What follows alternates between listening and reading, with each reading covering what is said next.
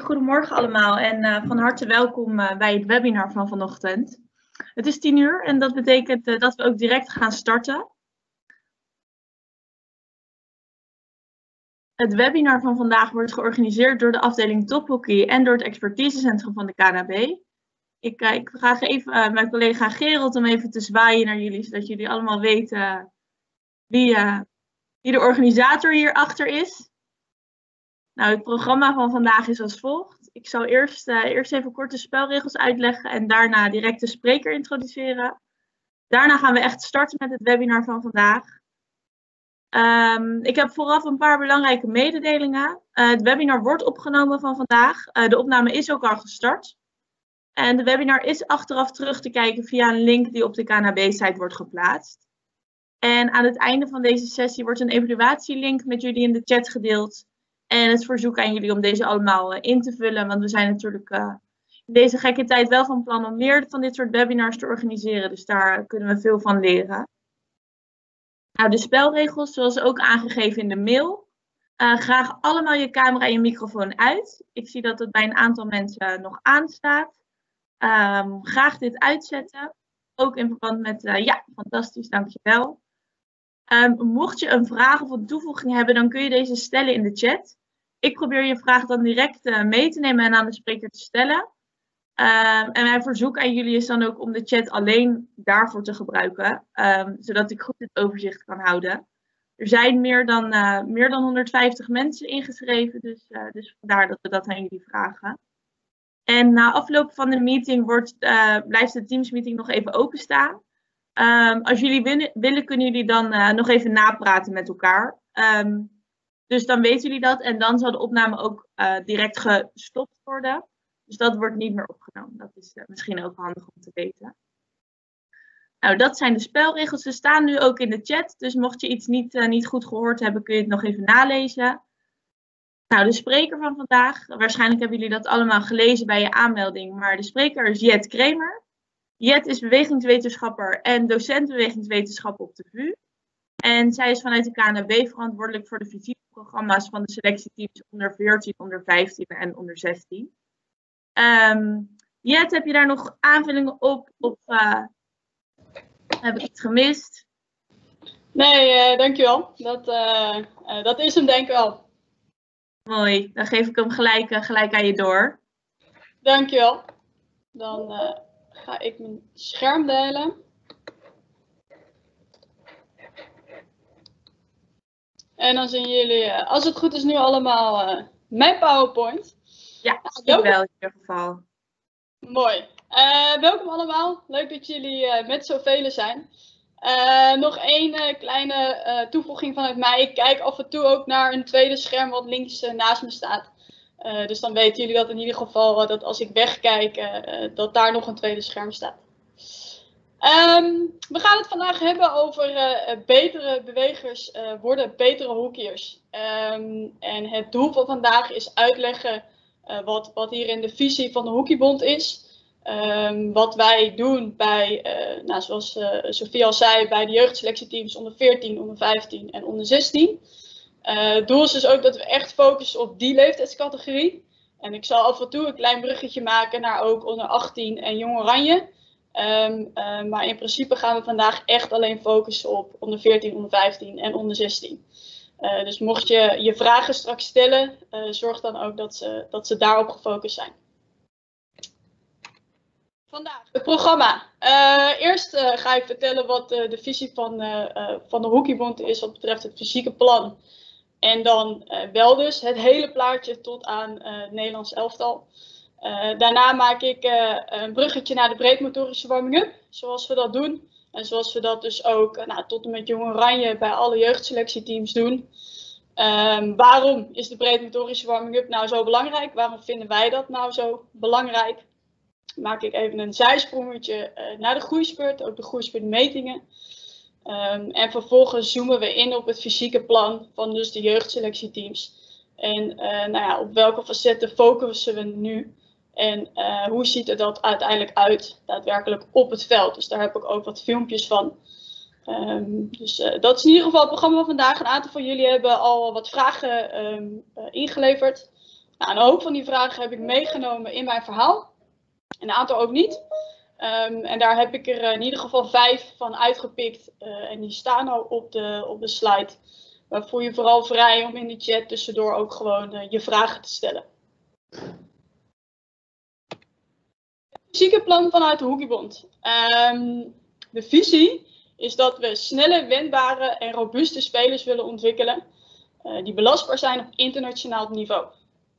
Nou, als we dan op een paar facetten even inzoomen. Snel en wendbaar uitzicht in, uh, uitzicht in het, verbeteren van kracht en van de loopmechanica.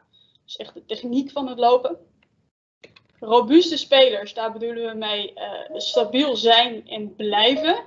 Dus het op de juiste manier op zoek gaan naar bewegingsoplossingen. Uh, en zowel stabiel zijn en blijven in, in duels en in belasting. Dus momenten bij een Nederlands B of een Jong Oranje uh, op aankunnen qua belasting. Um, en wat doe je in momenten, nou, zoals nu, uh, dat er geen wedstrijden en geen toernooien zijn. Uh, en hoe zorg je daarin dat de belastingbelastbaarheid um, nou, op het juiste niveau is. En dat, dat leren ze dus ook vanuit de jeugdselectieteams meenemen naar het Nederlands elftal. En uiteindelijk willen we natuurlijk zorgen dat de spelers fysiek belastbaar zijn op internationaal niveau. Met zo min mogelijk blessures.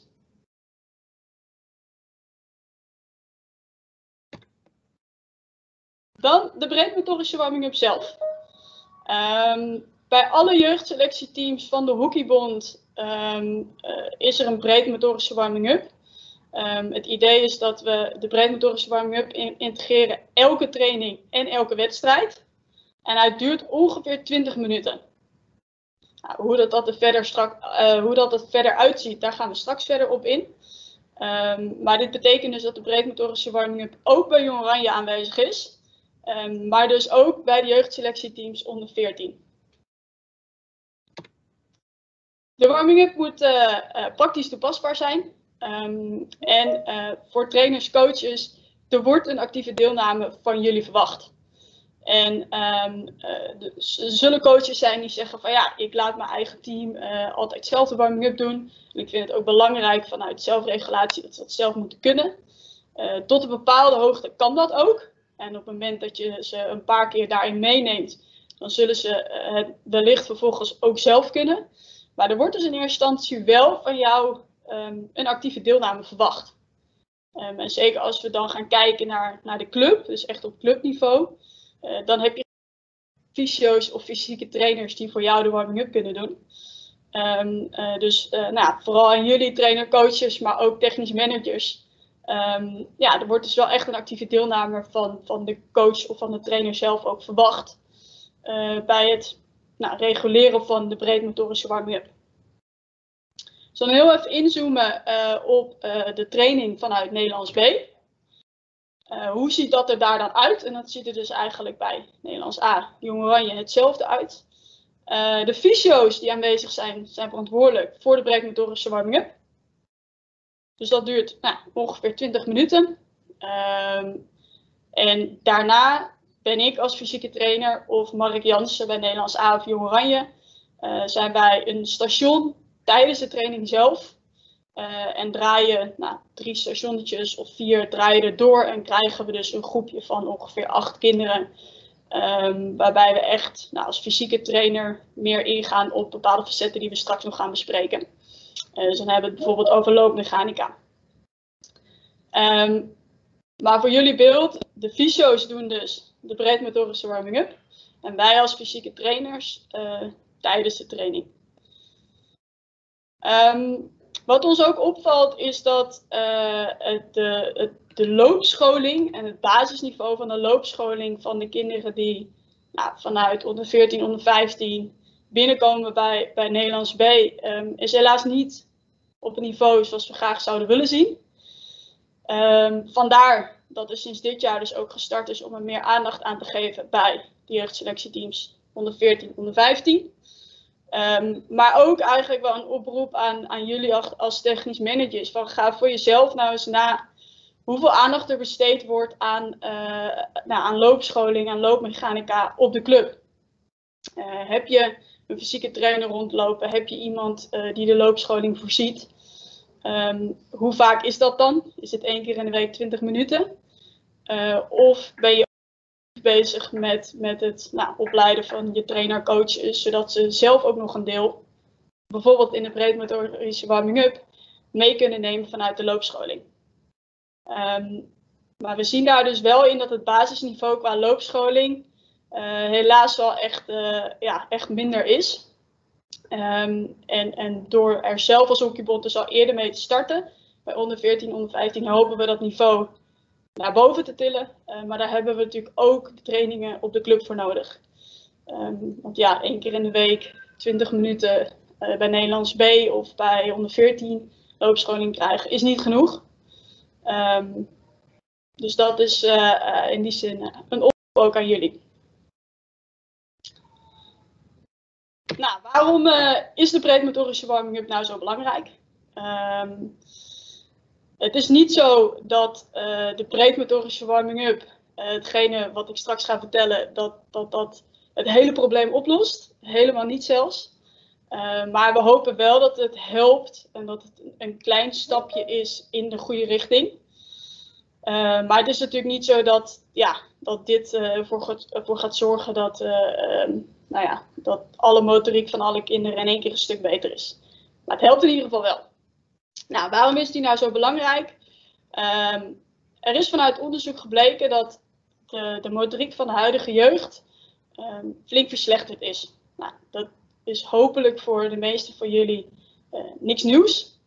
Um, is dan veel onderzoek die, die, of er is veel onderzoek geweest die dat heeft, waar dit uit is geconcludeerd. Nou, waar komt dat vandaan? Uh, kinderen spelen veel minder buiten. Ze voldoen over het algemeen niet meer aan de beweegrichtlijnen. Um, ik denk als je zelf ook teruggaat naar de tijd waarin je, waarin je jong was en bedenkt hoeveel uren je buiten aan het spelen en uh, ook allemaal met andere sporten bezig was, uh, dat het heel anders is dan de huidige jeugd nu. als ik zelf bijvoorbeeld terugga naar mijn jeugd, had ik een heel groot gasveld achter me bij ons huis en heb ik echt ongeveer alle sporten gedaan die je kon bedenken. Slagbal, honkbal, op, op skilers, street hockey, basketbal, voetbal, darten, pingpong. ik denk dat we alles daar wel met de buurt een keer gedaan hebben. Nou, ik denk dat er weinig kinderen zijn die dat nog steeds zo doen. Um, nou, dat resulteert natuurlijk ergens in, daar ga ik het zo over hebben. En de tweede kanttekening is, um, is dat kinderen vaak nog maar op één sport zitten. Dus vroeger zat je veel meer nou, op twee of drie verschillende sporten. En op een gegeven moment, toen je wat ouder werd, ging je richting één sport. Um, maar vaak zitten kinderen nu al op 11, 12-jarige leeftijd alleen nog maar op hockey. Nou ja, dat resulteert in dat ze uh, eenzijdig opgeleid worden, motorisch gezien. Um, als we kijken naar het aantal gymuren op school, is dat helaas ook afgenomen. Nou, alles bij elkaar um, zorgt dat ervoor dat de motoriek van huidige jeugd een, stuk slechter is. Vervolgens um, zorgt dat er dat de algemene fitheid minder is. Kinderen worden zwaarder. Uh, er komen snelle blessures, er komen meer blessures. Uh, kinderen leren ook niet meer vallen. Uh, er zijn speelrekken in speeltuinen die, nadat ze er eigenlijk al 15 jaar staan, in één keer lager worden gemaakt. Omdat als kinderen eruit vallen, breken ze iets. ja, dat, dat is natuurlijk ook wel weer een cirkel waar je dan in terecht komt. Um, maar kinderen leren niet meer vallen. Um, waardoor er meer blessures komen. De motoriek is slechter, waardoor er ook meer blessures komen. Um, en wat voor, voor de meeste van jullie ook niet onbekend zal zijn, is dat je vanaf de B-categorie ook ziet dat kinderen stoppen met hockey. Over het algemeen jongens uh, nog eerder dan, dan meisjes. Um, en het interessante is, dus ga eens kijken van hoe komt het nou dat, dat die kinderen stoppen. Nou, de meesten zullen ook zeggen van ja, ik vind het niet meer leuk het spelplezier is minder. Um, en soms komt dat ook voort uit omdat hockey motorisch gezien best wel een lastige sport is. Um, en op het moment dat, dat ze er dan niet zo goed in zijn en het spelplezier is minder, zullen ze ook weer eerder stoppen. Dus als we nou zorgen met z'n allen dat die motoriek beter is en dat er meer spelplezier terugkomt, uh, laten we dan ook hopen dat ze nou, vanaf die B-categorie niet meer zo snel stoppen met dit spelletje, wat we volgens mij allemaal uh, heel erg leuk vinden. Nou, zoals ik al zei, dit is waarom volgens ons uh, de breedmotorische warm belangrijk is. de wetenschap liegt er niet om, maar het is uiteraard maar een puzzelstukje in het totaalplaatje waar echt wel nou, het een en het ander moet veranderen. Voor ik verder ga, zijn er tot nu toe vragen? Er is nog niks binnengekomen in de chat, Jet. Dus okay. mochten mensen vragen hebben, kun je dat in de chat zetten. Eén kleine opmerking daarbij is een vraag van Kevin. Um, die vraagt iets over de opleidingen. Um, dat ga ik maar gelijk even beantwoorden. Hij vraagt, is basiskennis loopscholing inmiddels opgenomen in de HT-cursussen? Het antwoord hierop is in de HT3 en de HT4 opleidingen zitten modules hockeyfit, maar hierin zijn geen, is de loopscholing niet specifiek opgenomen. Dus dat, uh, dat is het antwoord op jouw vraag, Kevin. Um, en ook nu komt er nog niks binnen, Jet. Dus mocht er iets binnenkomen, dan uh, zal ik het gelijk toevoegen. Oké, okay, mooi. Dan, uh, oh, ik zie dat er nu, nu toch wat binnenkomt. Yes. Even zien. Suzanne vraagt, hockey is toch een breed motorische sport? Um, ik denk dat je, uh, dat je niet per se kan spreken van breedmotorische sporten. Uh, maar dat een, een sport wordt breedmotorisch op het moment dat alle nou basisvaardigheden, basismotorische vaardigheden daarin terugkomen. Uh, wat dat precies zijn, daar ga ik het zo nog over hebben. Maar ik ben uh, van mening dat um, op het moment dat een kind alleen maar hoekiet, is het, wordt dat kind niet breedmotorisch opgeleid. Dus in die zin is, is hockey een breedmotorische sport. Ja, ligt eraan wat voor programma jij uh, de kinderen op de club aanbiedt. Is dat alleen maar met bal en stick? Of is dat ook een breedmotorische warming-up? Is dat ook uh, looptraining? Wordt er ook wel eens uh, gehandbald, gevoetbald, dat soort dingen? Duidelijk.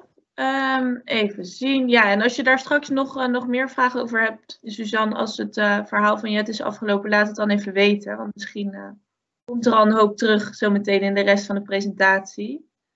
Even zien, Wouter zegt, warming-up wordt veel met bal- en loopoefeningen gedaan. Loslopen of bewegen wordt tot nu toe afgeraden. Um, ja, dat staat natuurlijk eigenlijk haaks op uh, wat jij benoemt. Uh, ik snap de vraag denk ik niet helemaal. Wat is... Nee, er zit, uh, er zit geen vraag in. Oké. Okay. Even. Wat zei je? nog een keer de dan. Warming-up wordt veel met bal- en loopoefeningen gedaan. Loslopen uh, en bewegen wordt tot nu toe afgeraden. Oké, oké. Uh, ja, ik denk juist dat je warming-up zonder bal en stick eh, kan doen. En je kan natuurlijk wel de warming-up verlengen met bal en stick. Dus dat is ook een beetje een grijs gebied van waar houdt de warming-up op. Hè? Ik bedoel, als jij eerst, nou ja, kom ik straks allemaal op, gaat touwtje springen, gaat rugbyen en daarna ga je een loopoefeningen doen met bal en stick, waarbij je dus gelijk een stukje basistechniek pakt. Uh, ja, waar is dan de grens van dat de warming-up ophoudt? Uh, die is er denk ik niet, maar het is gewoon een verlengstuk van. En dan is het goed dat er ook nog iets toegevoegd wordt met bal en stick. Ja, precies. Maar niet alleen maar uh, gelijk met bal en stick. Nou, duidelijk. En er kwam nog een vraag binnen van Jeroen. Zijn er nog meer onderzoeken bekend waarin blijkt dat algemene motoriek flink is verslechterd? Uh, geeft een goed beeld voor ons als kader om binnen de club ook aan te geven waarom. En uh, Kevin reageert daarop met uh, de onderzoeken van het Mulier Instituut over motorische, motorische vaardigheid van kinderen. Um, dus dankjewel Kevin voor het antwoord. Ik weet niet of jij nog meer onderzoeken zo uh, nou, niet 1, 2, 3 uit mijn hoofd. Uh, ik denk wel dat als het je echt interesseert, dat het Athletic Skill Model boek van uh, René Wormhout en Geert Savelsberg een hele goede is. en daar worden echt heel veel onderzoeken genoemd en wordt het allemaal wetenschappelijk onderbouwd.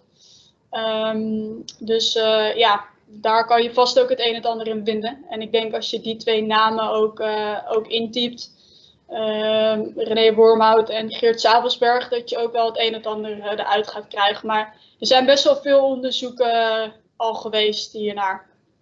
Ja, ik zie inderdaad ook dat Martine een uh, aantal onderzoeken erin, erbij zet. Mooi. Dus die zijn er zeker genoeg. Even zien. Um, Bob zegt, je roept op tot introduceren van een en ander bij de clubs. Welke middelen kunnen wij inzetten om bijvoorbeeld coaches veel op vrijwillige basis actief te zijn, um, actief te informeren en enthousiasmeren hiervoor? Um, ik denk dat er uh, sowieso ook een aantal apps zijn die uh, bepaalde oefeningen die focussen op de breedmotorische warming-up. Ja, een aantal oefeningen daarin hebben staan. Uh, je hebt ook de warming-up app van de Hockeybond. Daar heb ik straks ook nog wat filmpjes van. Um, ja, en verder, uh, ik zou zeggen, ga een keer met een paar trainers een avond uh, brainstormen op wat leuke oefeningen. En zorg dat iedereen nou, een stuk of tien oefeningen heeft, of tien volledige warming-ups. Uh, dan kan je ook wel eventjes vooruit. Um, dus ja, hoe kan je ze enthousiasmeren? Ja, door het verhaal duidelijk uit te leggen en ze er ook echt bij te betrekken.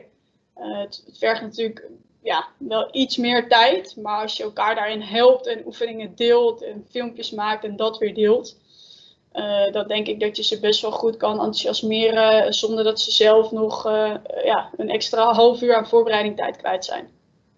Ja, duidelijk. Ja, ja, in, ja, in principe als mensen inderdaad uh, mee kunnen denken, dan worden ze al sneller enthousiast ergens voor. Um, even zien. En Gerald voegt nog toe in de chat. In het verleden werd aangeraden om met bal en stick de warming-up te doen. Maar gezien de motorische achteruitgang vinden wij uh, dat de hockeysport een bijdrage moet leveren aan die ontwikkeling. Um, en we dus ook daarvoor de warming-up uh, willen aanpassen en willen gebruiken. Nou, dat, uh, dat was het denk ik voor nu even Jet in de chat. Um, dat rijmt. dan, dan stel ik voor om weer verder te gaan. En mochten er dingen toegevoegd worden in de chat, dan, dan zal ik dat gelijk zeggen tegen je. Oké, dankjewel. Dan gaan we inderdaad verder en dan maken we even een zijsprongetje uh, naar de groeispurt. Dus de periode waarin nou, de kinderen aan het groeien zijn. En dan zoomen we in op wanneer de, de piek van de groeispurt is. Dus dan hebben we het over de fase van, van maximale groeisnelheid van het kind. Um, waarbij we het ook hebben over een biologisch ontwikkelingsleeftijd. Dus wat we daarmee bedoelen is dat de, de piek van de groeispurt is voor elk kind een ander moment. Uh, je hebt late groeiers, je hebt vroege groeiers. Um, nou, dat zie je vaak als je als coach van, van de C-leeftijd bent. Dan zal je dit heel erg herkennen dat er een aantal uh, hele, nou, al wat langere kinderen tussen zitten en echt nog een paar kleintjes. Um, meisjes zitten over het algemeen in de piek van een groeispurt tussen nou, ongeveer 11,3 en 12,2 jaar. Um, dus dan hebben we het een beetje over eind D-jeugd, begin C. Met dus de kanttekening, we hebben zeker altijd late groeiers en vroege groeiers. En uh, de jongens, dan heb je het meer over eind C, begin B-leeftijdscategorie. Dat zie je ook in het plaatje. Um, met dat de meisjes, daar is de piek dus echt wel een stuk eerder dan bij de jongens. Um, nou, deze, het, is, het is in die zin best wel belangrijk om uh, te weten wanneer het kind in, in de piek van de groeispurt zit. Um, want tijdens die fase heeft het kind een grotere kans op overbelasting blessures. Um, je zult het ook wel herkennen dat er in die leeftijdscategorieën relatief veel blessures zijn. Uh, pijntjes aan enkelgewrichten, kniegewrichten, heupen.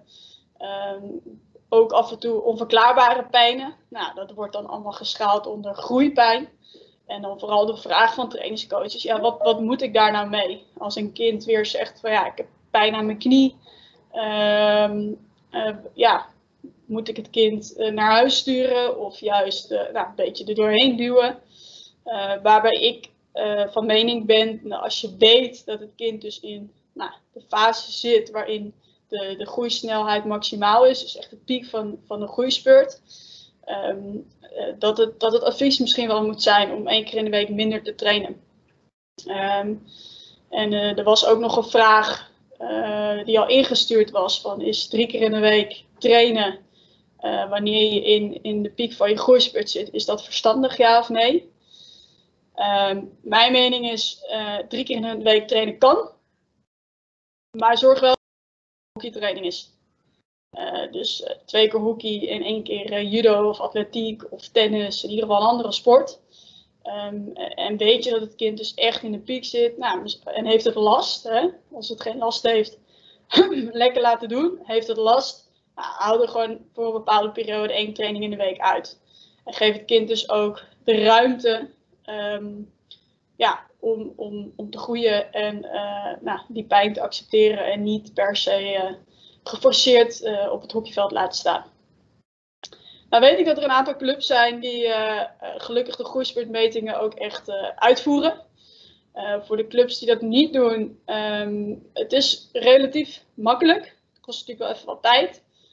maar het, het, is relatief makkelijk. Het enige wat je namelijk nodig hebt is lengte, gewicht, zithoogte. Dus dat is de hoogte vanaf de heup. Um, en de geboortedatum.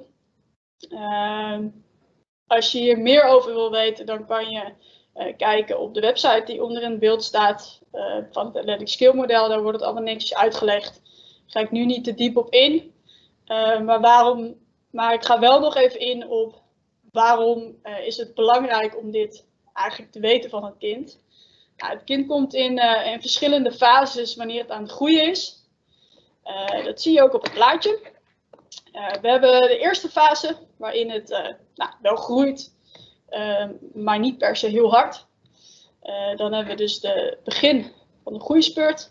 Dan komt het in de tweede fase, waarin het op een gegeven moment nou, gewoon echt heel hard gaat groeien en de groeisnelheid maximaal is. En de derde fase nou, is het kind ook nog wel aan het groeien. Dat zie je bijvoorbeeld bij meisjes B. Het kind groeit zeker nog wel, maar de echte piek is wel, wel voorbij. Um, en aan de hand van nou, de vier de, de vier data's die je hebt, kan je dus zeggen van oké, uh, zit het kind in, in fase P2 zoals ze het hier noemen, uh, dus echt in de piek van de groeispurt ja of nee, en zit het kind in deze fase, dan heeft het dus een verhoogd risico op overbelastingblessures. Kortom, dan moet je als trainer-coach wel even iets scherper zijn, iets voorzichtiger zijn vooral. Um, en uh, als het kind pijn heeft, dus ook het kind gewoon naar huis sturen en rust geven. Ga je wel doortrainen, doortrainen, eenzijdig doortrainen, dat is namelijk ook nog een verschil, alleen maar hoekie, hoekie, hoekie, dan heb je gewoon een, een grotere kans uh, op overbelastingblessures.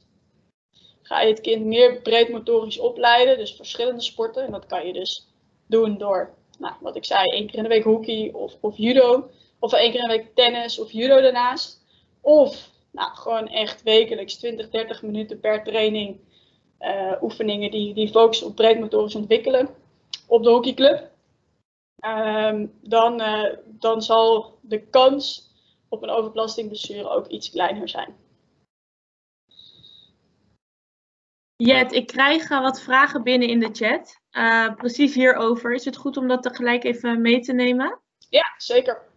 Super. Um, even zien. Suzanne vraagt bij onder 15 trainen de kinderen één keer per week met het regio steunpunt. Daarna nog twee keer met het eigen team. Dan hockeyen ze dus drie keer per week in een, in een groeifase. Uh, hoe zien wij dat? Nou, ik denk op het moment dat je dus weet dat het kind echt in de piek van een groeispurt ziet, dus in die fase P2, um, dat het goed is om met het kind in gesprek te gaan. En misschien ook al ouder. Um, van oké, als, als het kind nergens last heeft, uh, natuurlijk moet je dan wel oppassen, want liever voorkomen dan pas te laat gaan handelen. Um, uh, maar ik denk als je uh, op het moment dat het kind last heeft, dat het goed is om te kijken van oké, welke training halen we eruit. Um, ik denk ook dat je over het algemeen de trainingen bij de regio's en de steunpunten wat zwaarder is dan op de club. Nou, dat is verder niet erg, maar ze moeten het qua belasting wel aankunnen. Uh, dus wat doe je dan de rest van de week? Uh, trainen ze op maandag bij de bond. Geef ze dinsdag altijd rust en zorg dat ze dan woensdag pas weer op de club verschijnen. Uh, dus pas ook daar je, je trainingsprogramma op aan um, op de club. En dat, dat weet je van tevoren, dus dat kan je eigenlijk in het begin van het seizoen natuurlijk al doen. Ehm, en ik denk als je, als je dit soort kinderen uh, nou, meer focust op breedmotorisch ontwikkelen, dus echt wat ik zeg, die warming-up 20, 30 minuten, misschien verlengen we iets voor dat soort kinderen. Um, uh, ja, dat je ze ook wel goed kan begeleiden. Dat het ook al helpt. Oké. Uh, dus eigenlijk is het belangrijk dat je, dat je dus inderdaad inzicht hebt in wanneer die piek is. En dat je daarmee wel direct ook aan de slag gaat. Ja, ja, ja even zien. In het verlengde hiervan vraagt, vraagt Floris. Uh, als jullie merken dat een kind in de, in de piek zit, uh, beslissen we dan om het kind niet meer bij de nationale selectie te laten meetrainen? Of verwachten ze dat dat minder op de hockeyclub gebeurt? Nou, dat is dus wat je net aangaf, eigenlijk in, in samenspraak met, met die situatie. Ja. ja. als ik hem zo direct hoor, dan ehm, uh, dan moet ik wel oppassen met hier echt uh, iets, iets van te zeggen. Want ik denk dat het heel goed in samenspraak moet gaan met de coach van dus de regio's en de steunpunten. En dus met de club, met papa en mama. Um, uh, want ik, ja, ik denk niet dat het zomaar de bedoeling is dat er, als er bijvoorbeeld op zaterdag niet gespeeld wordt bij de club, dan mag het kind ook niet volgens mij op maandag naar de hockeybond. Dus dat moet natuurlijk wel allemaal in samenspraak met. dus ja, zo'n directe vraag, ga ik nu ja, niet zo direct op antwoord geven, zeg maar. Nee, duidelijk. Nou, mocht je daar wel, Floris of iemand anders nog meer over willen weten, kun je natuurlijk altijd even mailen naar ons. Um, even zien, dit is wel een interessante. Um, Perry vraagt groeispeurtmeten gelooft hij in, maar gewicht vragen aan meisjes in deze kwetsbare leeftijdscategorie uh, is wel glad ijs. Ehm, zeker als je dit laat doen door ongekwalificeerde mensen. Mogen mensen, mag zomaar iedereen dit doen?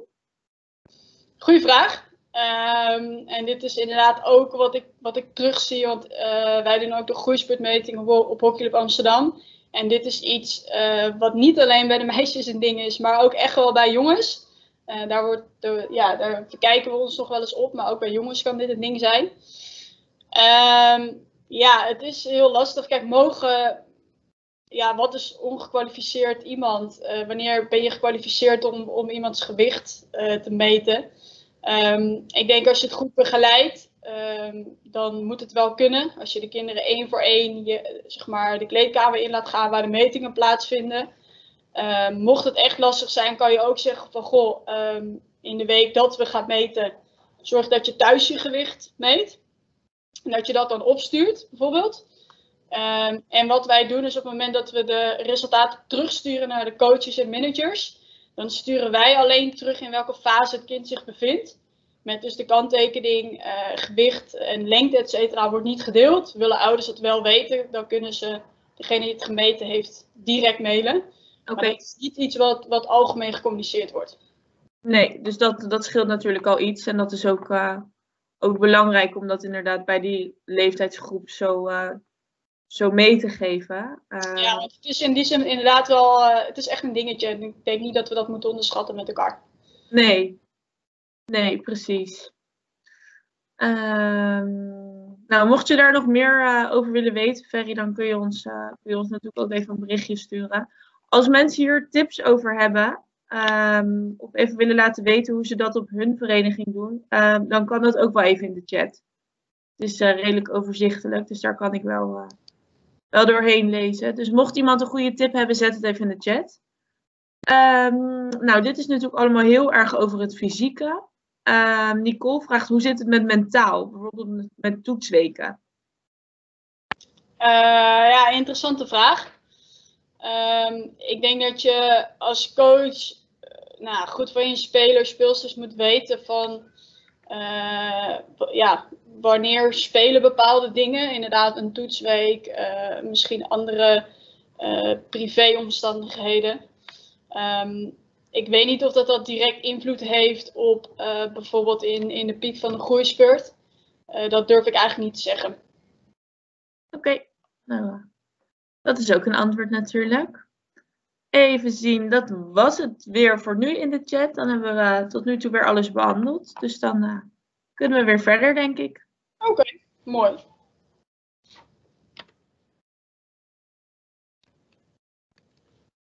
Dan uh, sluiten we voor nu ook dit deel af.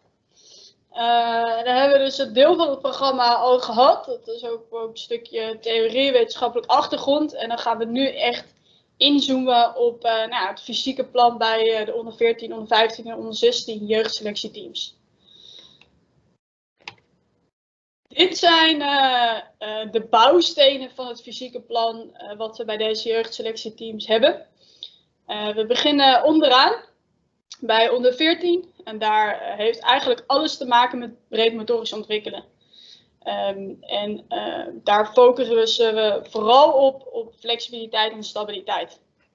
Dus we gaan het hier nog helemaal niet hebben over aeroop vermogen, anaeroop vermogen. Nee, echt breed motorisch ontwikkelen flexibiliteit, stabiliteit. Nou, bij onder 15 komt daar een stukje wendbaarheid bij. En bij onder 16 uh, uh, nou, krijgen ze voor het eerst te maken met eh, twee van de nou, zoveel sprintmechanismes. Um, daar ga ik verder, zo meteen verder op in. Eerst weer even terug naar onder 14. we hebben het daar dus over het breedmotorisch ontwikkelen op basis van alle grondvormen van bewegen. En het idee is dus ook dat gedurende het hele jaar alle grondvormen van bewegen terugkomen in de breedmotorische warming-up. Uh, met extra aandacht voor flexibiliteit en stabiliteit. Dit zijn de tien uh, basismotorische vaardigheden. Uh, balanceren, vallen, gooien, vangen, werpen, slaan. Stoeien, vechten, gaan en lopen. Dan hebben we het dus over alle vormen van gaan en lopen. Dus ook krablopen, gorilla lopen, hinkelen, alles. rollen, duiken, draaien springen, mikken, klimmen, klauteren, zwaaien, slingeren. Deze is helaas wat lastig uh, op het hoekieveld. En denk, denk ik ook de, de enige die mij uh, uh, nou, nog niet gelukt is om dat op het hoekieveld te krijgen. Um, en bewegen op muziek als laatste. Nou hebben in ieder geval volgens het ASM-model alle basismotorische vaardigheden per leeftijdscategorie nou, een percentage waarvan wordt gezegd als nou ongeveer zoveel procent van de tijd wordt besteed aan balanceren vallen uh, en uh, zoveel procent aan bewegen op muziek, dan heb je het totaalplaatje van de grondvormen van bewegen die ervoor zorgen dat een kind optimaal breed ontwikkeld wordt. hier zo in de tabel zien we al die percentages. het is een grote tabel, dus ik ga jullie even in meenemen. Eerste kolom staan dus de, de basismotorische vaardigheden zoals we ze net benoemd hebben. Tweede kolom, kolom een beetje uitleg van wat houdt het in. En dan 3, 4, 5 is dus uh, per leeftijdscategorie. Waar we het dus hebben over nou, 7 tot 9 jaar, 10 tot 14 en 15 tot 18. Um, ehm, en uh, vandaag focussen we dus op het deel van 10 tot 14 en nog een beetje 15 tot 18. Um, ehm, en dan heb ik er voor, uh, voor de B-categorie heb ik er vijf uitgehaald waarvan ik zeg uh, dat zijn vijf belangrijke die nou, veel terug zouden moeten komen in je breedmotorische warming-up. Dus dan heb ik het over de B-categorie. Eerst is balanceren. Zoals je ziet uh, is dat een, een belangrijke eigenlijk al vanaf jongs af aan, maar zeker ook als je dus in de B-categorie zit, blijft die heel belangrijk. Uh, stoeien vechten. Daar heb ik straks ook nog een leuk voorbeeldje van. Uh, dit, heeft, dit zie je natuurlijk terug op het hockeyveld ook in, in duels. Uh, ga ik zomerduel in, laat ik me opzij zetten of ga ik wat meer zomerduel in en, en dan heb ik zoiets van, nou laat maar komen. Ben ik ook niet bang om te vallen. Gaan en lopen. Dus alle vormen van gaan en lopen. Dus niet alleen op, op twee voeten, maar ook echt met de handen erbij. Um, springen, landen. En de laatste is gooien, vangen, werpen, slaan. Waarbij je natuurlijk ook weer te maken hebt met een stukje hand-oogcoördinatie, wat bij hockey belangrijk is. Dus dit zijn voor mij de vijf waarvan ik zeg, ehm, deze zijn in de B-categorie belangrijk. En de C-categorie zou ik zeggen, laat ze allemaal terugkomen. Dus daar is het eigenlijk nog breder dan uh, B. En daarna wordt, het al, uh, nou, wordt de piramide zeg maar steeds smaller. Uh,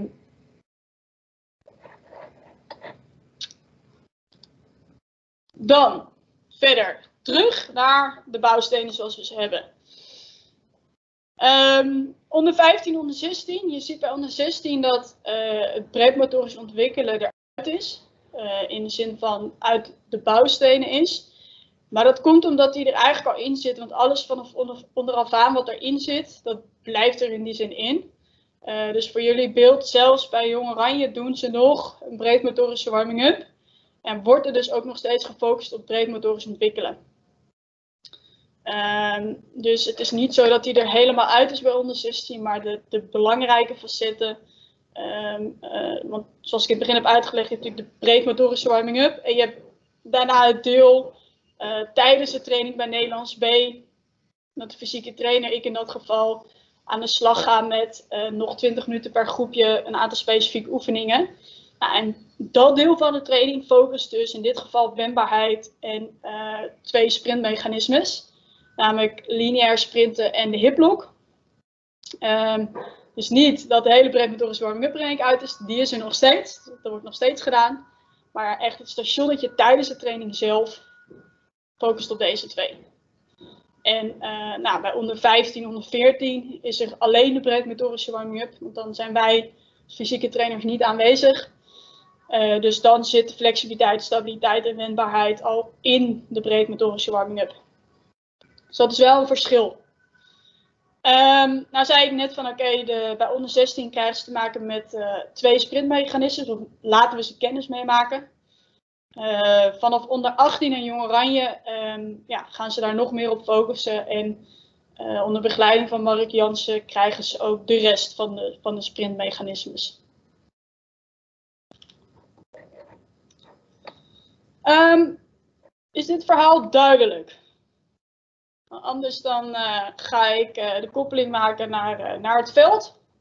En heb... Even zien, ik zie dat er één vraag in de chat binnenkomt. Ja. Um, ik weet niet zeker of je dat weet. hebben dezelfde grondvormen de focus bij de keepers of zit hier een verschil in?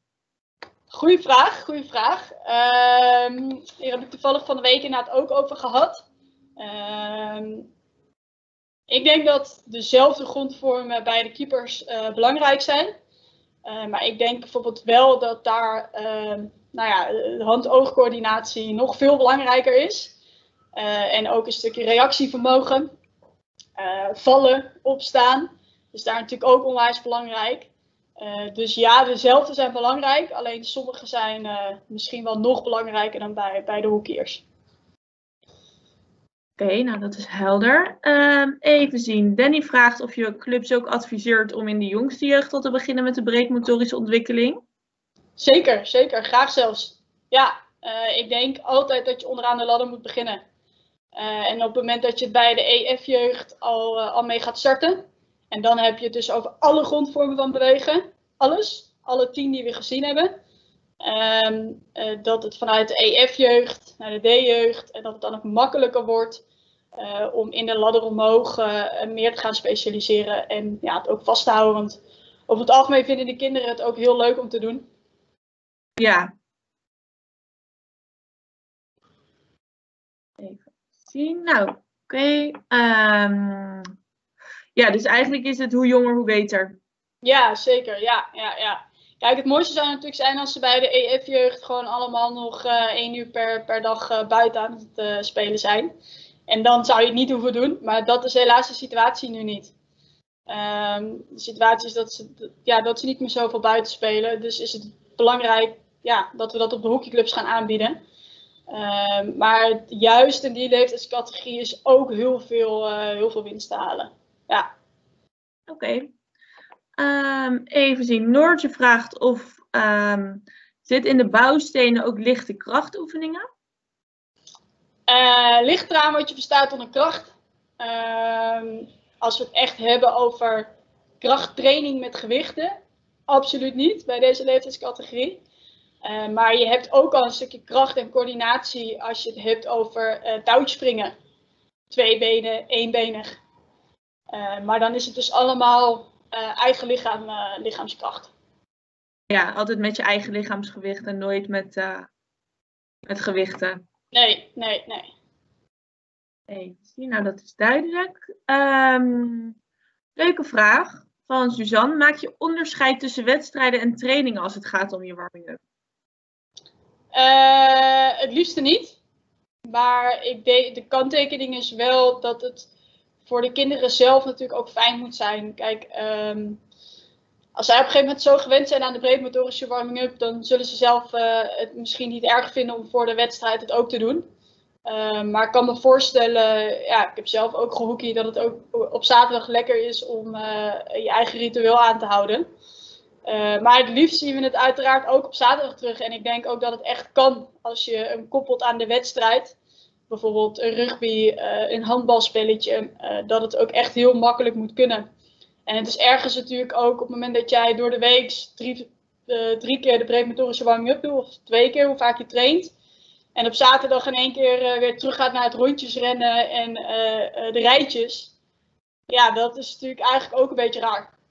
Dus waarom ja. Zaterdag ook gewoon de warming-up doen zoals je hem de hele week doet?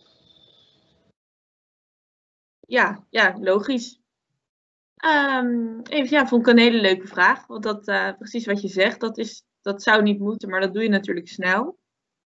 Um, een leuke tip van Floris. Voor het integreren van de keeper in het team is het interessant om de keeper voor een groot deel te laten doen, mee te laten doen met het team met de warming-up. Um, op de keeperstraining en de fysieke training kan je beter onderscheid maken. Ja, kijk, het ideaalplaatje is natuurlijk eigenlijk dat ze uh, bij de keeperstraining ook een stukje breedmotorisch ontwikkelen krijgen. Um, en ergens is het natuurlijk raar dat ze dat niet, uh, niet aangeboden krijgen. Ik weet dat het op heel veel clubs niet echt gebeurt. Maar waarom niet uh, iets als volleybal toevoegen?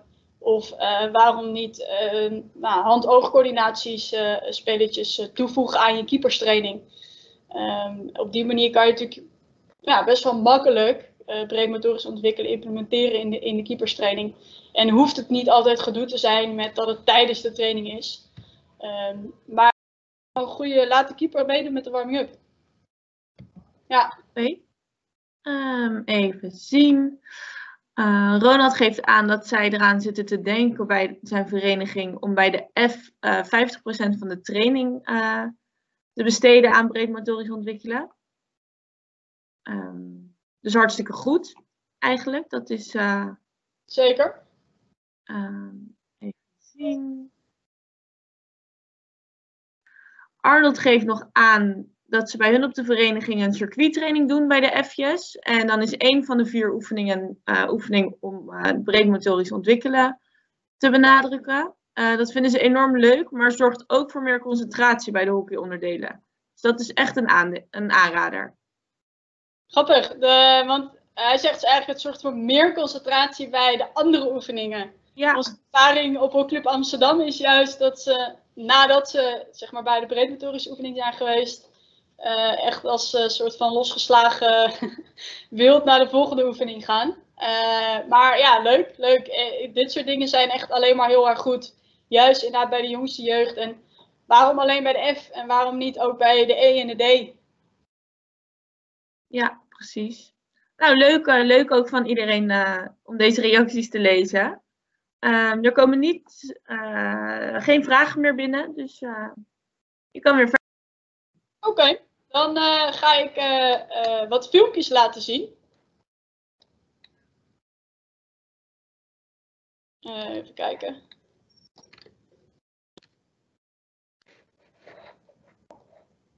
Oh, mijn PowerPoint sluit in één keer af. Uh, hier is hij weer.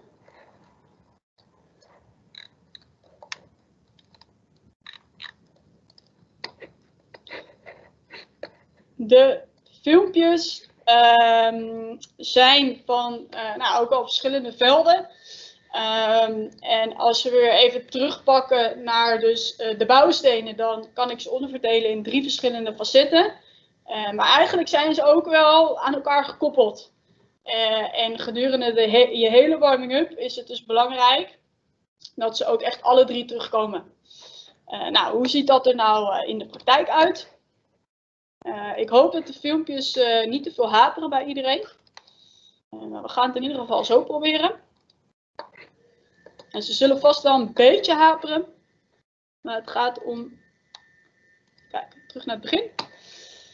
Hier zien we een flexibiliteit en stabiliteit oefening. Deze zijn allemaal gefocust op flexibiliteit, stabiliteit. Nou, dit kan je relatief makkelijk doen.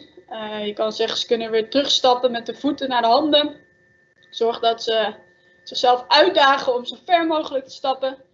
En ehm, ik zal nog, nog één keer van het begin af aan afspelen. En kijk dan vooral goed naar het jongetje helemaal vooraan. Die doet hem eigenlijk het mooiste van allemaal. Die houdt zijn rug goed recht, stapt echt helemaal zo ver mogelijk naar voren. En kan vervolgens ook weer rustig in kleine stapjes terug omhoog stappen.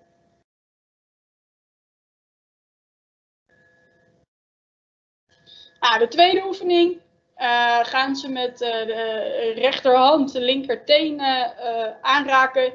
En dit meisje dat kon hem zelfs eventjes vastpakken.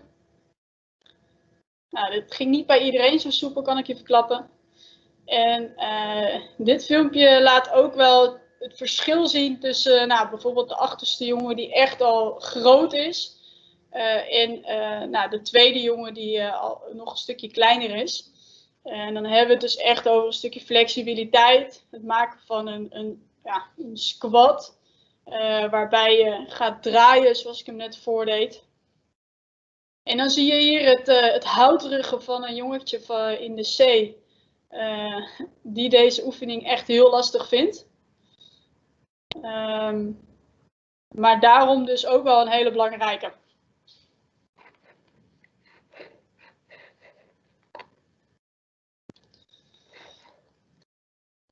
Uh, de volgende oefening is een stukje stoeien. Uh, dit is dus ook weer een stukje flexibiliteit, stoeien, uh, stoeien vechten zit erbij. Waarbij ze dus een rondje moeten proberen te maken. terwijl de een staat en de ander, hier komt nu een mooi voorbeeld, zo meteen links. En eh, ja, als we het dan hebben over de vraag van net, zit er ook kracht in, in uh, de bouwstenen? Nou ja, dat zie je hier natuurlijk wel een beetje terug. Um, dan zie je het zeker ook wel, uh, nou, je moet wel kracht hebben om iemand te kunnen dragen of jezelf eromheen te wormen.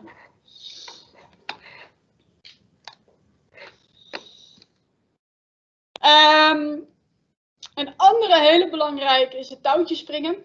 Dat doen we eigenlijk bij de Hockeybond uh, bij alle teams. Um, op die manier kan je uh, eigenlijk heel simpel uh, je warming-up al beginnen. Dus dan hoef je niet eens rondjes te gaan rennen, maar touwtjes springen. Um, ontzettend belangrijk. Zowel voor de stabiliteit als voor de coördinatie en dus ook alweer een stukje springkracht. doen we bij onder 14, gebeurt bij Jong Oranje ook.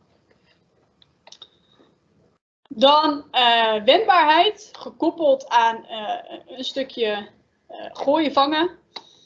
ze moeten het balletje gooien naar de ander. Zodra die gevangen is, kant kiezen, links of rechts sprinten. Kijken of je de ander kan aantikken.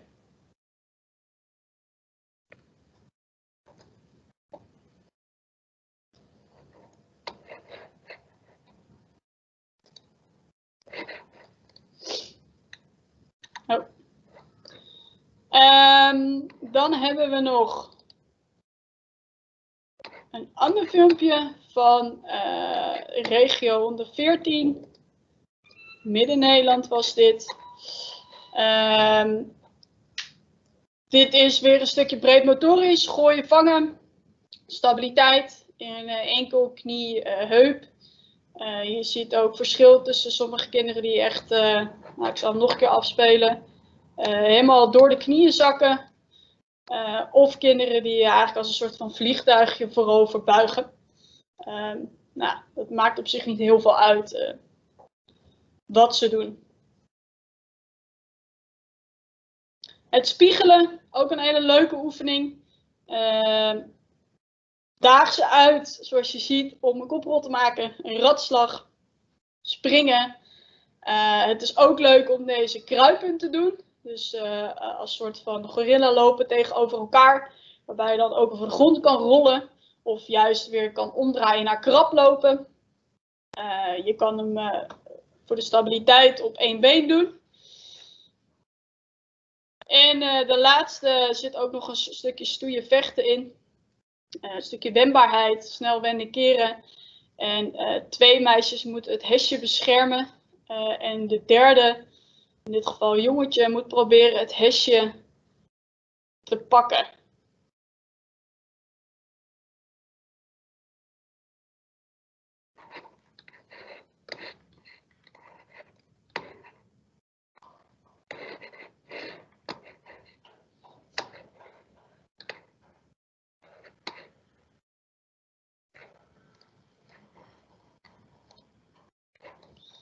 Oké, eh, je ziet dus dat ik uh, nou ja, de oefeningen ingedeeld heb uh, per onderdeel. Maar uiteindelijk zijn ze wel ook weer aan elkaar gekoppeld. En het leukste is natuurlijk om alles terug te laten komen gedurende de hele week.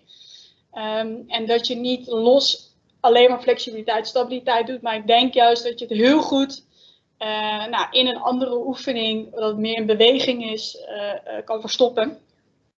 Rugby, handbal doet het altijd heel goed. Uh, tikkerspelletjes, uh, of dat ze door een bepaalde koker met twee tikkers een hesje achter in een broek stoppen en naar de overkant van het veld moeten brengen. Um, allemaal dat soort spelletjes, als je dat dus doet, dan hoef je geen rijtjes meer te doen, hoef je niet meer rondjes te blijven rennen. maar is dit eigenlijk al, al voldoende. Um, ik heb hem al even genoemd, maar dan hebben we ook nog de warming-up app van Hockeybond zelf. En daar staan ook een aantal leuke filmpjes in, uh, die ik jullie wil, uh, wil laten zien.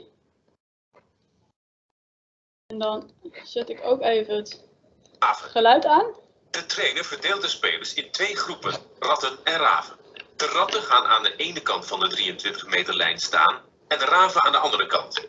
Als de trainer ratten roept, sprinten de ratten naar de achterlijn van hun vak. De raven moeten proberen de ratten te tikken voordat ze hun eigen achterlijn bereiken. Als de trainer raven roept, worden de rollen omgedraaid. De oefening duurt ongeveer twee minuten.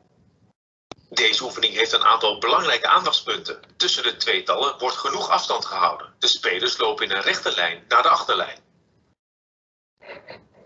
Rat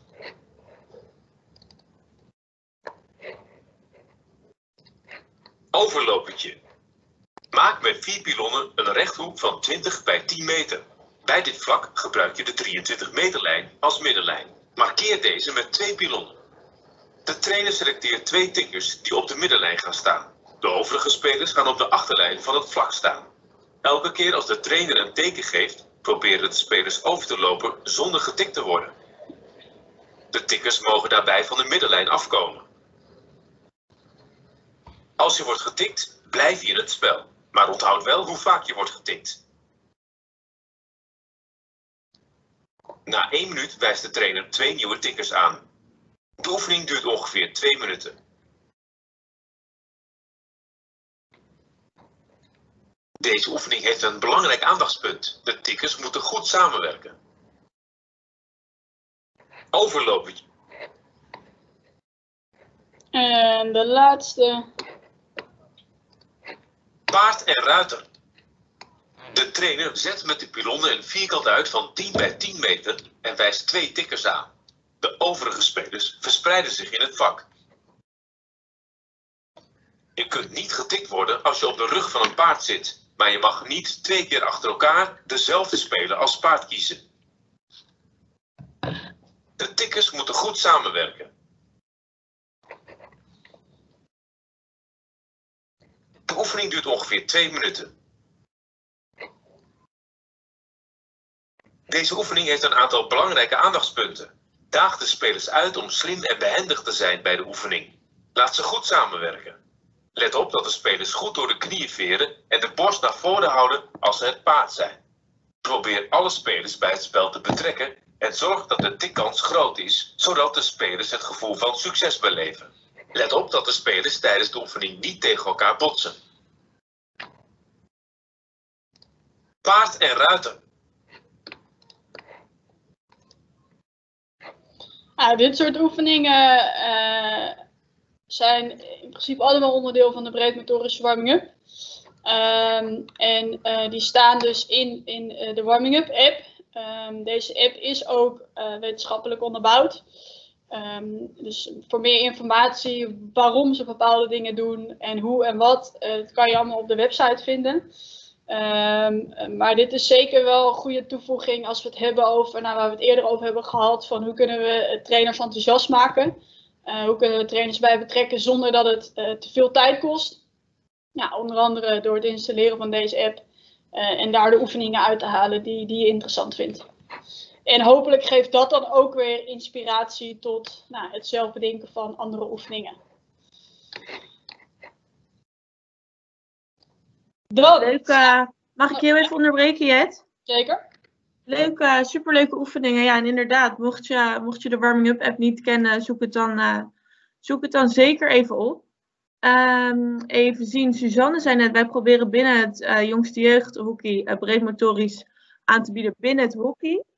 En daar had Jos Gijzels, een oud inspanningsfysioloog van de KNB, het net ook al even over. het breedmotorisch ontwikkelen binnen het hockey. Um, en daarbij ook aangegeven, de meeste kinderen uh, hoeven niet zoveel last te hebben van, uh, van bijvoorbeeld zo'n groeispurt. Dus pijntjes, blessures en ziektes zijn eigenlijk uitzonderingen. Um, maar zorg dat je kinderen breedmotorisch opleidt uh, binnen het hoekje. Dus dat uh, als kleine toevoeging. Ik weet niet of jij daar, uh, daar nog iets aan toe te voegen hebt. Jet? Ja, kijk, ik denk dat er wel een verschil is tussen breedmotorisch opleiden binnen het hockey. En uh, dus dat interpreteer ik als met bal en stick en zonder bal en stick. En ik denk dat het, dat het juist onwijs belangrijk is om zonder bal en stick te starten.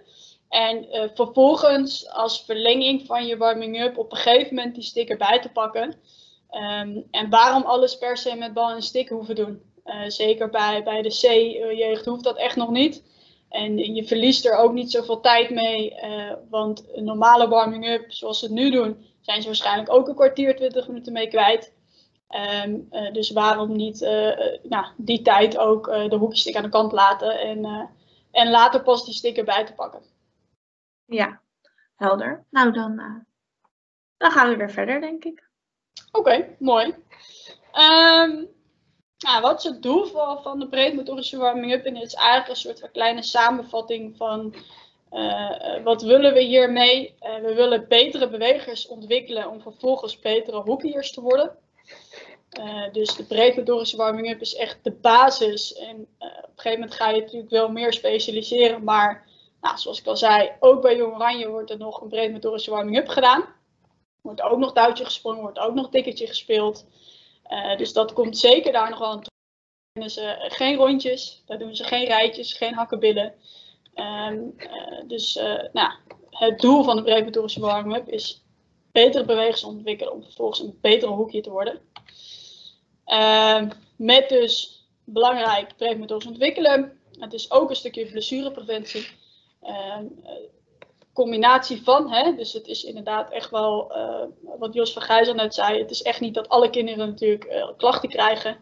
En je moet ook niet pas het gaan toepassen op dat een kind last heeft. Zorg gewoon dat je het altijd van tevoren al doet. In de, in de hoop dat het nou, blessurepreventief is. Ehm, daarnaast vind ik het persoonlijk heel belangrijk dat je een speeltuiggevoel creëert. Dus de kinderen moeten het leuk vinden over het algemeen vinden ze het ook leuk. En, en ga niet als trainer coach uh, de hele tijd staan corrigeren hoe, ze, hoe of wat. Laat ze gewoon lekker doen. Um, en dus het stukje afstappen van de traditionele warming-up. geen rondjes rennen. Um, zoals je ja, wellicht ook nu ziet, er was vooraf een vraag ingestuurd, of ingestuurd van ik weet niet precies hoe die was, maar het ging over het stukje uh, dynamisch versus statisch rekken. Um, zoals je ziet, uh, rekken we eigenlijk helemaal niet. Maar uh, de flexibiliteit, stabiliteit oefeningen zijn een vorm van dynamisch rekken. Um, dus ja, als we het dan hebben over dynamisch versus statisch, statisch rekken, wat is beter? Ik denk dat het een hele lastige discussie is, waar, waar we nou, nu ook niet de tijd voor hebben om daar heel diep op in te gaan. Maar ik denk als je nou, je oefeningen zo indeelt dat je het eigenlijk, nou, het dynamisch rekken al in je oefeningen zit. En dat je er niet een los moment voor hoeft in te plannen.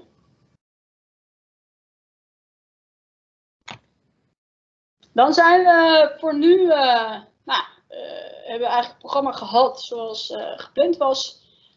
wel nog een vragenronde, er zijn gelukkig al een aantal vragen geweest. Er zijn ook al wat vragen ingestuurd. dus die zal ik in eerste instantie behandelen.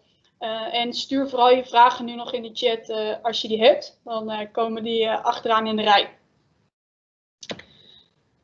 Eerste vraag was, wat is het belang van de cooling down? we hebben het natuurlijk alleen maar over de warming-up gehad nu. En eigenlijk helemaal niet over de cooling down. Ik ben van mening bij deze leeftijdscategorie dat een cooling down niet zo heel veel toevoegt. En ik denk dat je altijd moet afvragen van oké, wat is het doel van dat ik nu deze cooling down doe? Vindt het kind het lekker om na een zware training nog even twee rondjes te rennen? Prima, laat, dat, laat het gewoon doen. Um, maar ik denk dat, uh, uh, nou ja, laat ik het zo zeggen, als we gaan buiten spelen, als ze op school gym hebben, doen ze ook geen cooling down. Uh, en ik, ik, denk dat op deze leeftijdscategorie kinderen snel genoeg moeten kunnen herstellen.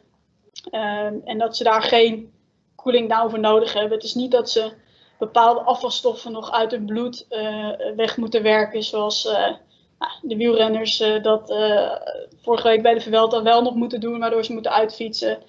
Dat is bij deze kinderen niet het geval. Dus ik zou persoonlijk zeggen, het is niet per se nodig. Maar vindt het kind het lekker? Nou, waarom niet? Het, heeft, het schaadt verder ook niks. Het heeft geen, geen negatieve effecten. Hoe hou je balans tussen patronen en gewoontes versus diversiteit? um, ik denk dat juist hoe diverser je oefeningen en hoe meer differentiatie, uh, hoe meer je de creativiteit van een, van een speler, stimuleert, Um, en ja, hoe meer creativiteit, hoe beter het is. En want als we het dan ook weer hebben over het willen ontwikkelen van robuuste spelers, hè, waar we het de visie van de, van de Hockeybond over hebben gehad, uh, dan gaat het daar wat betreft robuuste spelers ook om uh, op zoek gaan naar de juiste bewegingsoplossing. Uh, in duels bijvoorbeeld. Um, dat, dat je dat juist stimuleert door nou ja, meer oefening te hebben. En dus de creativiteit nou, te stimuleren.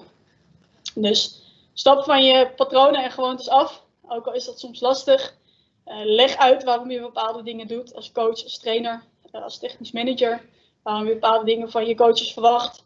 Um, en zorg juist voor die diversiteit en differentiaties. Wat maakt een hockeyer een eenzijdige sporter en hoe kan je dit simpel aanpassen? Nou, hier is eigenlijk al in het begin een vraag over gekomen, hè, van is hockey een eenzijdige sport? Ik denk uh, dat de hockeyer aan zich is geen eenzijdige sporter op het moment dat hij of zij ook nog andere sporten doet. Uh, hebben we het over een 12-jarig meisje wat alleen maar op hockey zit, uh, dan is het in principe wel een eenzijdige sporter um, als het dus ook niet te veel buiten speelt of nou, niet te veel in, in, aanraking komt met andere sporten. Komt, komt zij dat in dit geval wel, dan is het geen eenzijdige sporter. Um, en hoe kan je dit simpel aanpassen? Nou, door het uh, zorgen dat het kind in aanraking komt met andere sporten of door het toepassen van deze breedmotorische warming-up.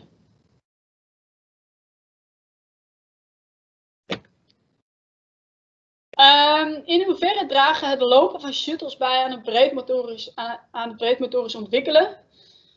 Um, niet. Heel simpel. Um, stel jezelf weer de vraag: wat is het doel van dat de kinderen van 15 jaar shuttles gaan laten lopen? Uh, het, het uh, verbeteren van het aerobe of anaerobe vermogen is minimaal bij deze leeftijdscategorie.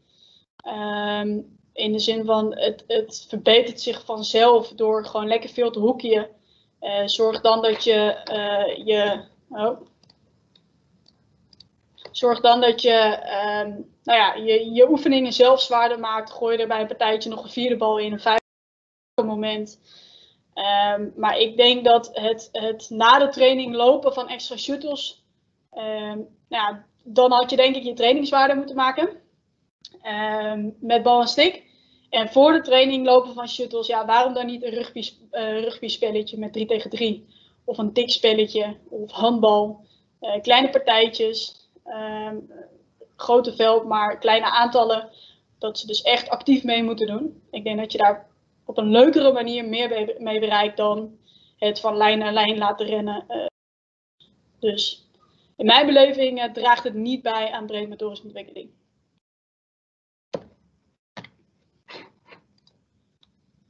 Um, deze hebben we eigenlijk ook al besproken. Is drie keer anderhalf uur trainen in de week goed uh, voor wanneer je in de groei bent. Goede spurt heb ik voor mezelf van gemaakt. Uh, nou ja, maar de vraag is drie keer in de week hockey. Of ook nog een andere sport. Of drie keer in de week hockey waarvan een half uur besteed wordt aan breedmotorisch ontwikkelen. Uh, nou, dus het, het, kan. Um, maar het hangt er wel vanaf wat voor trainingen. En als ze te eenzijdig zijn, uh, dan zou ik zeggen, zorg dat je dat verandert. Maar een kind moet het qua belasting uh, gewoon goed aankunnen. Dat waren de vragen die ingestuurd zijn. En ik ben benieuwd of er nu nog nieuwe vragen binnengekomen zijn. er, komt, er komt wel wat binnen. Ehm, even zien. Arnold heeft een vraag. Aan het begin van het webinar werd de seniorencategorie genoemd. Um, is dit ook allemaal goed toepasbaar bij seniorenteams? Um, ik kan me eigenlijk niet herinneren dat ik seniorencategorie genoemd heb. Uh, alleen jong oranje dan wel. Maar kijk, bij senioren verandert natuurlijk wel het een en het ander. Um, als je het dan hebt over het verbeteren van een looppatroon uh, om snelle, wendbare, robuuste spelers te ontwikkelen, dan heb je het echt veel meer over uh, de looptechniek, de loopmechanica. Um, ja, dan kan je nog steeds een breedmotorische warming-up doen. En dan kan je nog steeds zeggen van oké, uh, we gaan niet uh, de rijtjes doen, maar we doen het op een andere manier. Dus ja, dat kan nog steeds. Uh, maar als we het echt hebben ja, over wat ik net zei, dan, dan is nou, een, losse looptraining wel, ehm, ja, wel belangrijk. En ook dat is dan wel breedmotorisch ontwikkelen. Ja, krachttraining bij de seniorenteams is ook uh, nou, op een bepaalde manier breedmotorisch ontwikkelen. Ja, ja, dat blijft het uh, dan natuurlijk altijd. Um, even zien. Wouter zegt bij een vaste warming-up uh, doe je inlopen, rijtje, hakken, billen, squat, sprong en dergelijke. Dit patroon helpt met makkelijk herhalen, zo leren ze hun lichaam voelen en weten ze hoe fit ze zijn. Is dit ook een onderdeel van, het, van onze warming-up? Uh, nee, eigenlijk niet meer. Uh, want het liefst wil je dus uh, het rondjes lopen en het, het rijtjes doen wil je eruit halen. Ehm, hij zegt van het helpt bij het, het, het, herkennen van je lichaam of je fit bent, ja of nee. Ik weet niet of ik het daar in die zin mee eens ben. Um, ik denk dat je dat of vooraf de training al uh, nou, kan, kan testen op een hele simpele manier. Um, of dat je daar op de training zelf achter komt en dan moet uitstappen. Uh, maar ik weet niet of dat een bepaalde warming-up daar echt. Uh, ja, je voelt het natuurlijk soms wel alsof je zwaardere benen hebt. Uh, maar dat kan denk ik ook met een premotorische warming-up. En we hebben het nu wel over de categorie onder 14, onder 15, onder 16. Ja. dus ik denk dat dat dan sowieso minder van toepassing is. Ik bedoel, kinderen hebben nou, ja, herstellen nou eenmaal sneller. Uh, dus of ze dan echt zware benen hebben, ja, natuurlijk hebben ze dat soms wel eens. Maar is dat per se erg? Ik denk dat dat wel meevalt. Oké, nou duidelijk. Um, dan ga ik verder. Mochten we een vraag, mocht ik hem niet helemaal goed begrijpen of niet goed stellen, laat het even weten hoor in de chat. Want uh, we organiseren dit om jullie vragen natuurlijk wel uh, goed te kunnen beantwoorden. Dus als het niet compleet is, laat het gelijk even weten. Um, Aniek vraagt hoe wij er naar kijken om rekoefeningen te doen bij een warming-up. Um, ja, dat is eigenlijk het verhaal van het statisch en dynamische rekken. Um, ik zou het, het, Kijk, het is een hele lastige discussie, uh, rekken. En uh, de wetenschap is hier ook niet helemaal duidelijk over. Van wat is nu uh, het beste? Het verschilt per individu, het verschilt per sport. Statisch, dynamisch. Ehm, ik, ik, ja, ik wil eigenlijk niet hier ehm, een antwoord op geven, omdat de wetenschap hier heeft. maar zoals je wel ziet, is dat wij niet statisch rekken in, in de breedmotorische warming-up. Um, en dat het dynamisch rekken verstopt zit in de flexibiliteit, stabiliteit oefeningen. Oké, nou dankjewel. Duidelijk, uh, duidelijk antwoord. Even zien, Jos Gijzel voegt nog toe. Het uiteindelijke doel is om een betere hockeyer te worden. Uh, op basis van de wetenschap uh, differentieel leren, zegt hij, doe de hockeytrainingen waarom je veel breder en nog veel gevarieerder het zou de KNB sieren om daar slimmer mee om te gaan. Nou, dat is iets voor ons om mee te nemen. En laat dat ook zeker weten in het evaluatieformulier wat ik straks, straks deel. Want dan kunnen we daarvan leren. Even zien, wanneer start, starten jullie wel met het gericht trainen van uithoudingsvermogen? Uh, ja, goede vraag. Uh, ik weet niet precies hoe, hoe dat bij Nederlands A en Jong Oranje eruit ziet. Uh, maar ik denk dat je al heel veel kan bereiken tijdens je hockeytraining zelf. Um, en dat je dan op het moment dat je oefeningen zwaar genoeg zijn, ook bij seniorenteams, uh, dat je al het uithoudingsvermogen uh, traint zonder per se ja, echt shuttles te laten rennen. Uh, wat wel belangrijk is, is dat het aerobe vermogen, dus het trainen op een relatief lage tempo, um, uh, wordt vaak wel vergeten. Dus dan hebben we het over hardlopen, 5, 6 kilometer op een laag niveau. Um, wij hebben nu bij, bij Nederlands B een fysiek programma naar de kinderen gestuurd en ook daar onder 14, onder 15. Uh, en daar hebben we weer het accent gelegd op ga alsjeblieft op de fiets naar school. Ga alsjeblieft op de fiets naar je hockeytraining. Want dat is een onderdeel van je trainingsprogramma gedurende de week. Dat je dan dus op een lage intensiteit het aerobe vermogen aan het trainen bent. Klinkt een beetje zwaar, dat is het natuurlijk niet. Uh, maar het is wel onderdeel van. En als je constant op de scooter stapt of door je ouders gebracht wordt, dan zul je zien dat het uithoudingsvermogen ook wel minder getraind is. Um, dus ik denk dat je op een onbewuste manier al heel veel kan bereiken. Zonder per se nou, shuttles te moeten rennen of langdurige afstanden rennen. Oké. Okay. Um, even zien. Um, Martijn vraagt welke twee of drie materialen zou jij toevoegen aan de trainingsmaterialen? Um, zodat we de trainers goed kunnen faciliteren. Leuk. En kleine toevoeging gelijk daarop is René, die zegt verschillende soorten ballen, handballen, softballen, rugbyballen, trapjes, hekjes en zwemslangen. Ik weet niet of uh, jij nog aanvullingen hebt. Uh, nee, ik zit te denken. Uh, ja, zwemslangen vind ik wel grappig. Uh, trapjes, hekjes, ballen. ja, ik denk dat dat het belangrijkste is. Uh, met hesjes kan je dus ook best wel veel. In de zin van, die kan je dan als soort van staart gebruiken, wat ik ook best wel veel doe. Verder heb je eigenlijk niet zo heel veel nodig. Ehm, nee. Even zien. Oh, dan zie ik nog een, nog een toevoeging hierop in de chat voor de jongste jeugd. Pittenzakjes, grote en kleine hoepels. Dus ja, eigenlijk kun je ontzettend veel gebruiken. ja, en dan... Uh, wat natuurlijk ook een leuke is, is uh, koop een paar tennisrackets. Koop een, een, een slagbal, honkbalknuppel. Um, bij de jongste jeugd gebruik je hoekjestick andersom. Dus met het dopje. Doe daar wat leuke dingetjes mee. Um, ja, daar kan je, ja, dat is natuurlijk ook super leuk. Kan je heel veel mee. Koop zo'n zo'n netje wat je op het veld kan zetten. Dat je nou, hockeyend kan voetvolieën, zeg maar. dat soort dingen is ook allemaal breedmotorisch ontwikkelen. Ja, ja, het is eigenlijk ja, precies wat je zegt, hartstikke breed en er kan hartstikke veel. Ja, je kan het zo gek maken als je zelf wil eigenlijk. Maar uh, verschillende soorten ballen is denk ik wel uh, ja, misschien wel het allerbelangrijkste. Ja. Even zien. Wouter zegt nog, een warming-up met shuttle kan heel leuk zijn als je de bal en stick uh, integreert in combinatie met een estafette. Ehm, hebben jullie daar voorbeelden van? Nou, kijk, Uh, mijn vraag is dan gelijk, wat is het doel van zo'n estafette? Hè, wil je uh, basistechniek verbeteren, dan kan dat. Um, maar het is wel weer kinderen in dezelfde houding brengen als dat ze de hele training al staan.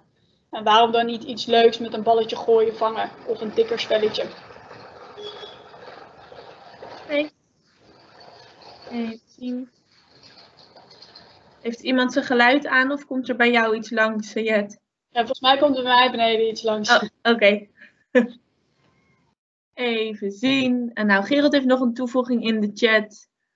Uh, met name in de piekfase in de voorbereiding naar het toernooi wordt het vermogen getraind door veel hoogintensieve partijvormen met arbeidsrust 1 op 1 en 1 op 1,5. Aangezien we dan meerdere keren per week trainen, bouwen we het wedstrijduithoudingsvermogen op.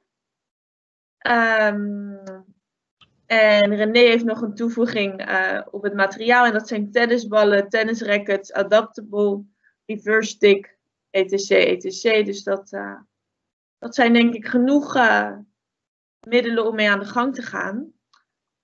Um, ik wacht nog heel even of er nog meer vragen binnenkomen. Ik zag dat er ook al iets meer mensen de vergadering hebben verlaten die misschien weer verder moeten.